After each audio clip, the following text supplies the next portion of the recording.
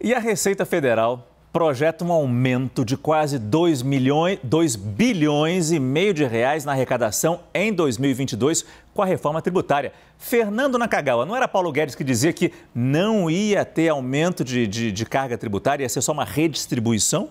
Pois é, a conta acho que tem mais sinal demais do que previam, viu? De fato, de fato, Márcio, a expectativa era de uma, um resultado estável, ou seja, sem alteração na carga de impostos. Mas a Receita Federal refez as contas e não é bem assim. Vamos dar uma olhada nos principais pontos desta polêmica reforma tributária. Entre os pontos, cobrar 20% sobre os dividendos, que são aqueles lucros distribuídos aos acionistas, reduzir o imposto de renda das empresas, cobrar 15% nos fundos imobiliários que não pagam atualmente, permitir a atualização dos valores dos imóveis nas nossas declarações de pessoa física, já que os valores imóveis só são atualizados atualmente quando você vende, corrigir a tabela de imposto de renda para as pessoas físicas com desoneração total a partir de para quem ganha até R$ 2.500 e também limitar o desconto simplificado.